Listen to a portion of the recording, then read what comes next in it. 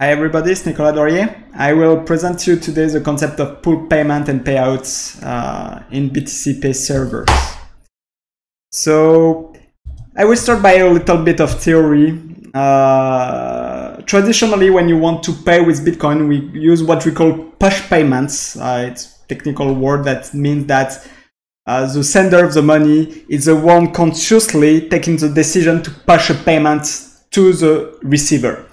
So an example, Alice want to buy something, uh, Bob reply, okay, you can buy, send one BTC to this address, and then Alice broadcast the transactions.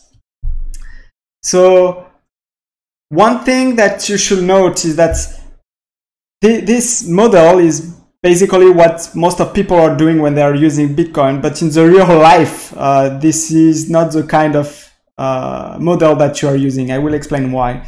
So the main problem with this model is that if you have lots of interaction with Bob, so imagine that I take this diagram, I put in horizontal, uh, in the horizontal axis, uh, this interaction, and you have a kind of repeated interaction between Alice and Bob. You have this kind of diagram. Uh, so you can see that every time like Alice want to pay, she has to make a Bitcoin transactions, and every single time like it's the same thing then she need to make a bitcoin transaction and the main ma major uh, problem with this model is that a bitcoin transaction okay might be costly if the, the fees are high but actually it's not really a problem. Even with nowadays where the fees are kind of high it's not really a problem you know. Uh, the main problem is that there is a high mental cost to do those kind of uh, those kind of interaction. And actually, even Lightning Network is not solving this main uh, user experience issues. So the main issue when you do this kind of repeat payments is you have the mental cost of every time you have to open your wallet, scan the QR code, confirm it, send it. Uh, it's kind of it, it's kind of block, blocking your customer to, to, to buy something. So the way the way uh, people are solving this uh, currently, the best example I have is Bitrefill. So Bitrefill has this uh, concept of what I call uh, so uh, uh, for what I call a prepayments. So instead of every time you want to buy a card on Bitrefill, except instead of every time sending one transactions, what you can do instead is just to do one prepayment. So you send, for example, you give them 0.1 Bitcoin every, time you want to buy, you can basically skip the step of sending a transaction. Um, I, I, think it's very, uh, it's a very important uh, user experience. It will be super cool if Bitrefill send us the number of people that are using it. Uh, but my guess is that lots of people are using this prepayment feature. It's just so easier to do to do it that way.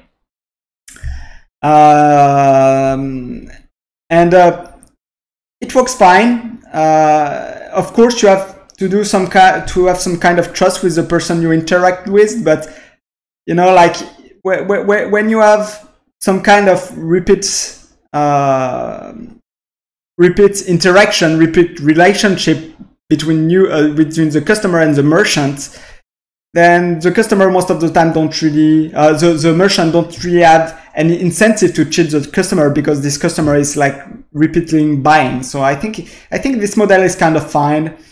Uh, you know the, the concept of of gift card is basically is using the same kind of system uh, but instead, what if we like, like if you try, for example, to use Amazon uh, and you don't reuse gift card on Amazon, Amazon has another very good system, which is they basically take the money out of your bank account directly when you want to buy. They don't ask you your credit card number every time, and it's very power, powerful.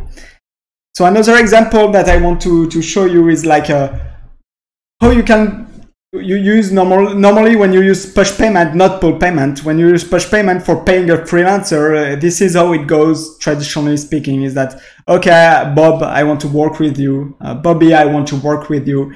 And then every time bob want to get uh, money basically they, they tell to alice oh please can you send me some money at this uh, at this address? And i say okay i will send you money and send the money. And then bob will say okay i work a little bit more. And like you know there is always this back and forth uh, between between the freelance that is Bob here and and Alice. And the more freelance you have, uh, basically, the more Alice has to keep up with this uh, with this uh, flow. And every time there is this high mental cost of making one transaction for every Bob. So uh, even without talking about uh, once again, even without talking about the the, the transaction cost, uh, you, you still have this mental cost and Lightning as, as is don't solve this issue. So what about instead of doing push payments, we have this same model as we can find in Amazon, or actually there is another model. So, for example, uh, recently I, I, hired a freelance on a website that is called Upwork. Uh, it's a freelancer website, and the way the model it's working is basically you enter your credit card, and uh, you can say, okay, this freelance can draw money out of me up until, for example, one BTC per month, or like uh, no, it's fiat, but like one thousand dollars per month or something like this. And what's happening is that the freelance are basically directly pulling the the money out of the uh, of the payer. It's very good because it it take away all these mental costs uh, of the pay, that the payer need to, to to do every time sending money.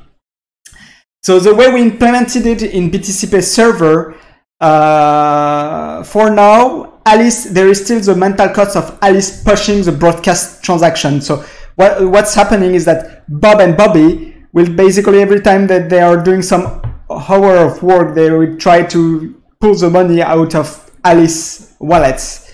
And the way we have do it right now is that Alice, for example, at the end of the month or at the end of the week, will uh, will broadcast the transaction. One will do one broadcast of the transaction to pay every uh, freelance that she has at once.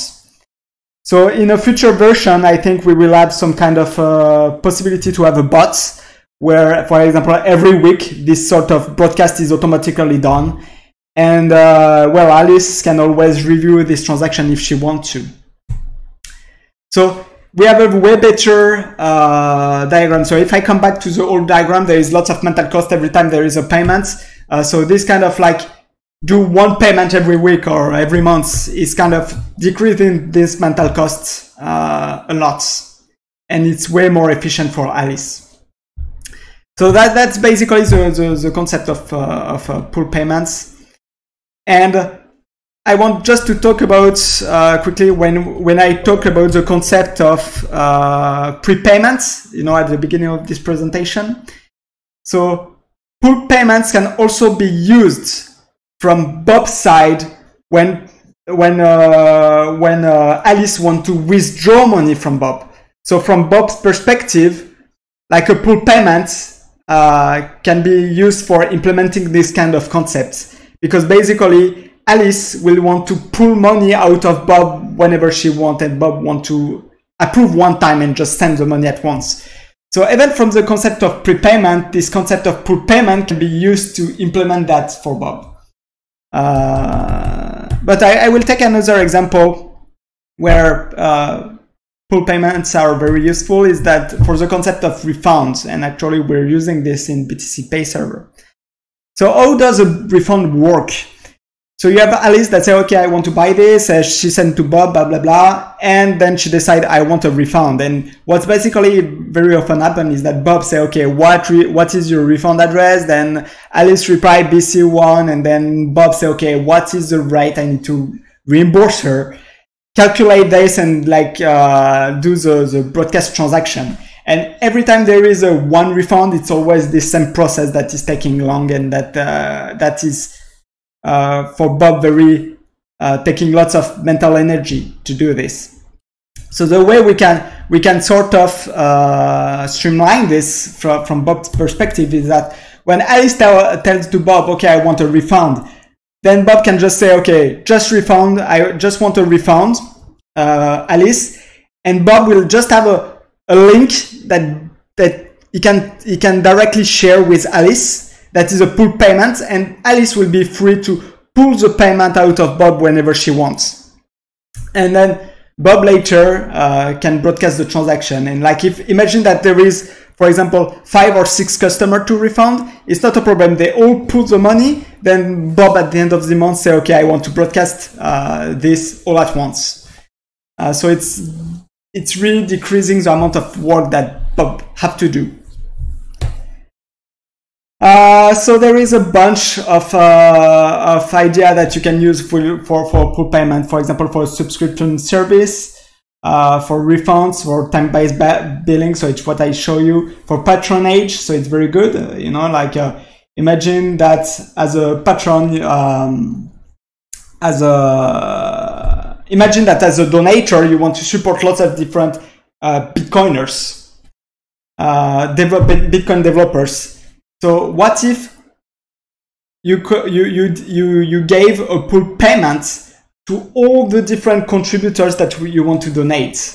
So basically, all the contributors will be able to pull money out of your wallet every month at, their at their own pace. And you, at the end of the month, you just say, okay, I agree to send this amount of money, and you broadcast the transaction and the payment to all the different uh, um, contributors that you want to fund. So it's very, it's very interesting. Uh, it can also be used uh, for exchanges. For example, imagine that you want to sell your Bitcoin, something that nobody do, but hypothetically you want to do it. Then you can just say, uh, you can just create a pull payment to your favorite exchange, uh, uh, and it will allow the exchange to withdraw money from your wallet and automatically sell to Bitcoin uh, periodically, for example. So it's a very good uh, way of doing that. Uh, as a prepaid payment system, as I said uh, earlier, uh, if the merchant has a kind of prepaid account, the uh, to allow Alice to withdraw it is actually a pull payment from the from Bob perspective. So you can use this concept as well to implement these kind of things. It's also time based, so you you you, you can just say, okay, I want to send 0.1 Bitcoin every month, and then every month, like the, the, the, recipient of the pull payment will be able to only draw this kind of money. You, you can see the, the, the documentation here. Uh, and one thing to note is that we, we are exposing way more uh, about pull payment in our API than in our uh, user interface. Uh, so this will basically change in the next releases. But uh, right now the API is way more complete on what you can do with pull payment than, than, than the main interface. So here you have Alice on the top, uh, Bob on the bottom. And uh, what you want to do basically is uh, to simulate a payment from Alice to Bob and then a, a refund from Alice to Alice. So let's go on Bob and try to create just a simple invoice, for example, 100 USD. Uh, I would choose on chain and I create my invoice. So here I have my invoice. I will give it to, to Alice. So here, Alice, can you pay it? So Alice open it okay, I, I have this invoice, I want to pay it. So I will just simulate this. I will go to I will go to the to Alice wallet.